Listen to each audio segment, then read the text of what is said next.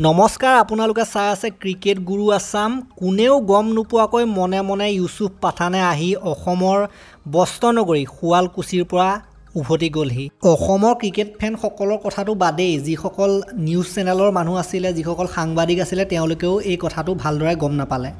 কাৰণ পাঠানে নিজে বিচাৰিছিল যে যেতিয়া তেওঁ অসমলৈ আহিব বা শুৱালকুছিলৈ আহিব তেতিয়া যাতে তাত ভিৰ নহয় ভিৰৰ বাবে অসুবিধাৰ সন্মুখীন হ'বলগীয়া পৰিস্থিতিৰ উদ্ভৱ নহয়। সেইবাবে তেওঁ অহাৰ কথাটো কাকো জনোৱা নাছিলে সংবাদ মাধ্যমকো জনোৱা নাছিলে।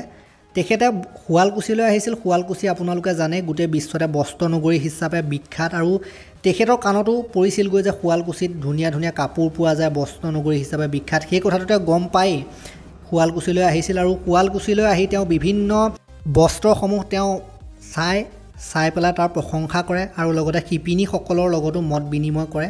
আৰু নিজে যেতিয়া উভতি যায় উভতি যাওঁতে তেওঁ বিভিন্ন প্ৰকাৰৰ বস্ত্ৰৰ লগতে মুগা বস্ত্ৰও যথেষ্ট সংখ্যক কিনি লৈ যায়। অৱশ্যে কাকো জনোৱা নাছিল যদিও দুই এজন ক্ৰিকেট ফেন তেনেকৈ তাত ওলাইছিল।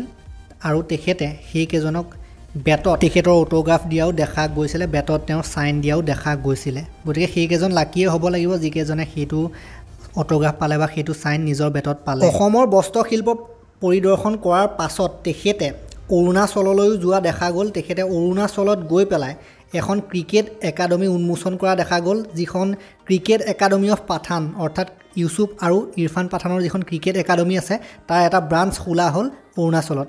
চ' ক্ৰিকেট একাডেমি অফ পাঠানছত যদি আপোনালোকে শিকিব বিচাৰে ক্ৰিকেট তেন্তে আপোনালোক অৰুণাচললৈ যাব লাগিব।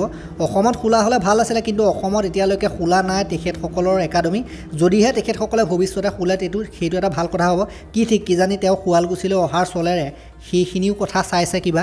চ' আজিলৈ ভিডিঅ'টোত ইমানেই আছিলে। যদিহে আপোনালোকে তথ্যখিনি ভাল পালে এটা এটা লাইক দিব শ্বেয়াৰ কৰিব আৰু চেনেলটোলৈ নতুনকৈ আহিছে যদি ছাবস্ক্ৰাইব কৰি ঘণ্টাটো দবাই থৈ যাবলৈ নাপাহৰিব তেতিয়ালৈকে ধন্যবাদ।